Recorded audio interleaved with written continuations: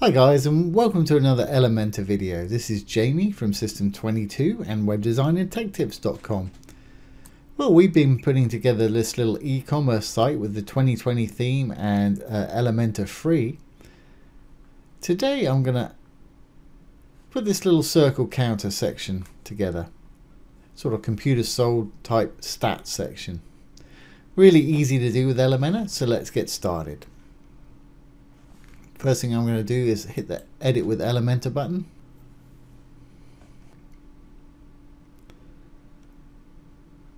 Now once loaded I'm going to go down to where we want to work and I'm going to delete these two sections. We've actually got two sections here. That's that one gone and that one gone and we'll start again. Okay so let's add a section. I'm going to hit the little red cross for a section there. I'm going to make it one column and what I'm going to do is I'm going to go over here and steal this title right here. I'm going to right click on that and say copy. And then I'm going to paste it in our little section right there. And we've got our first heading and I'm going to call that computers sold. You can either do it in here or you can go up to the block and do it inside the block, however you want to do it.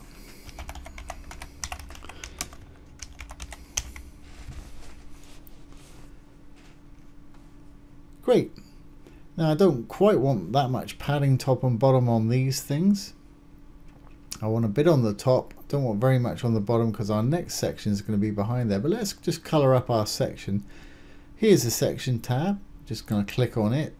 So we're editing the section. And I'm going to go to the style and give it a colored background. I'm just going to make it blue, light blue.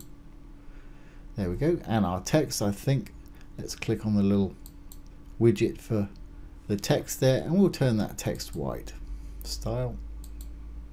White. Everything else is fine. Uppercase everything like that. So let's go ahead and do our next little section now that's going to have our number counters in it and then we'll adjust our padding and what have you afterwards. So let's go back to our matrix. And like I say we're trying to build this with the free ones only so we've got our basic ones here we've got the pro ones which are not using in this at the moment. And now we've got a counter which I want there. So I'm going to left click and drag it to where I want it which is going to be right there. Now I'm going to make three of these so I want three columns. There's a little column. It's the blue one for the section the little black one for the column there and the little blue one for the widget within the column there.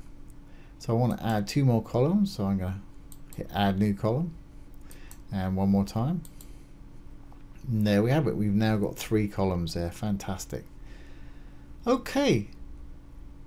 Well, while we're here I may as well style the background. I want it the same color as that one. So I'm going to go back into the section itself to the style color and again I'll make it that light blue color that number will disappear into it because it's the same generic color let's go back into this now. And we're in the counter widget itself. And I'll go in there. I'm make the text color white. And let's make that title white also. So back to the content and what we want it to say. This will perhaps be laptops And for the text, that's fine, but I want to make it uppercase, and I really don't want it to be that serif font with the little flourishes on the bottom there. I want a sort of sans serif font. So let's go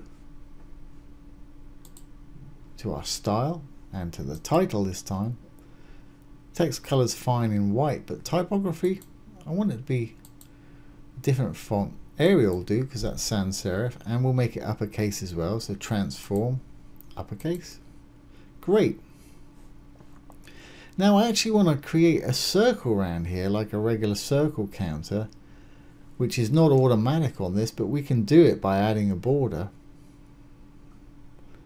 So let's close that one up. We'll go to advanced, go down to border and at the moment there's none. I want a solid border. As you can see it's dropped it in there. Color I'm going to make it white I want it to be about 5 pixels wide, so I'll just put 5 in there. And if you've got that highlighted, it'll do all four at once for you. Now then, I want to make this a complete circle. So we'll first give it a border radius that will kind of make it oval, and then we'll adjust it with some padding. So I'm going to use percentage. I'm going to click on the little percentage right there. And I want to make it 50% all around. Looks like it's only 50 pix. I want that to be percent. There we go. As you can see, it's a perfect oval right there. Now, to make this into a circle, we're going to have to add some padding top and bottom to make that oval stretch a bit and a bit of margin left or right to pull it in a little bit. So let's go over to our advanced tab hit the advanced drop down right there. Here's our margin. First let's bring it in. Let's bring it in. I don't want it on all sides. I just want left and right not top and bottom. So I'm going to uncheck that. And I'm going to give it 50 on the right and 50 on the left. That's brought it in some. Now let's give it some padding top and bottom. Uncheck that one and put 50 on top and 50 on the bottom Getting there, I'd say we need a little bit more. Let's say 60.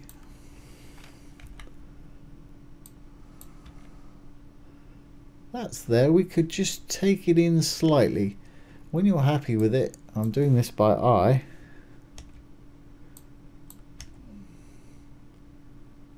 Yeah, I think that'll work for me. Obviously, you adjust it to how you're happy with it.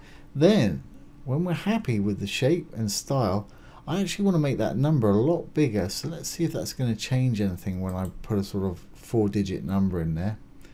Let's say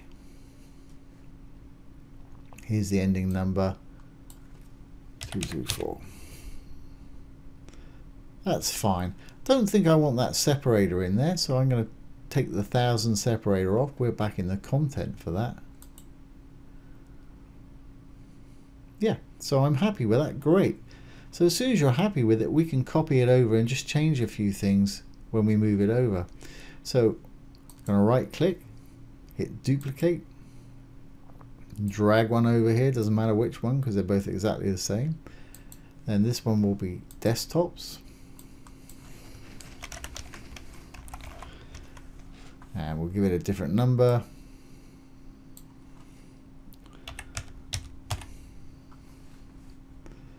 And when we're happy with that one we'll duplicate it again.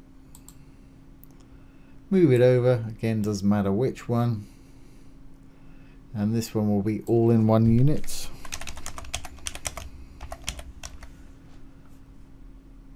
and we'll give him a different number too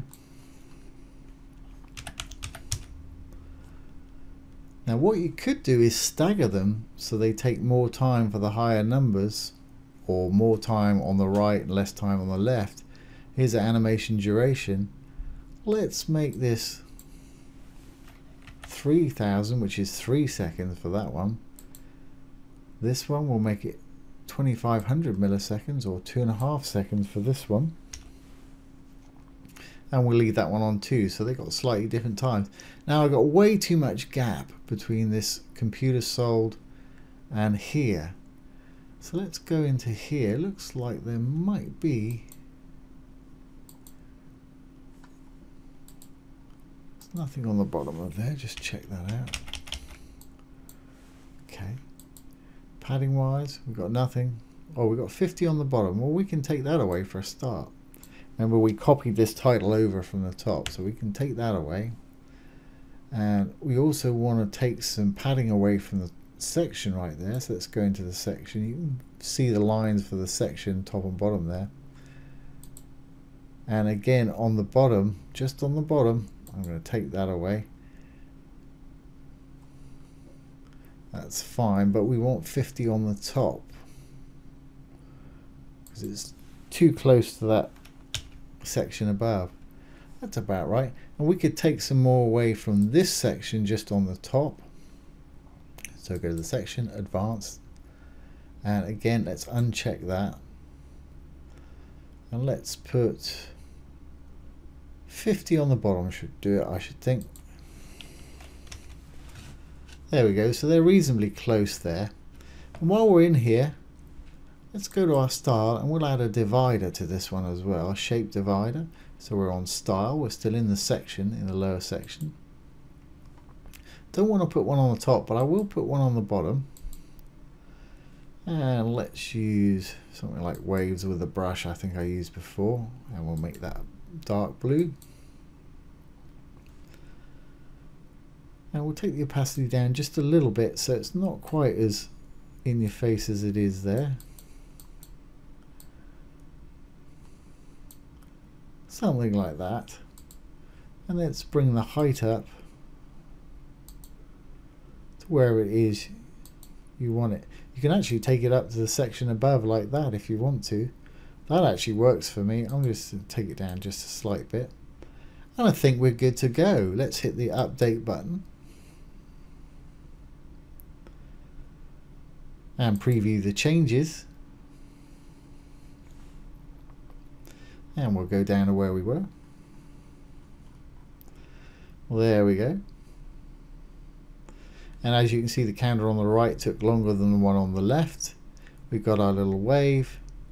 Fantastic. So there's how to build a little stat counter, a little circle counter section for your computers. So I hope you've enjoyed that and found it useful. If you have, please ring the bell, give it a thumbs up, comment, share and subscribe to our YouTube channel. Once again, this has been Jamie from System22 and WebDesignAndTechTips.com. Thanks for watching. Have a great day.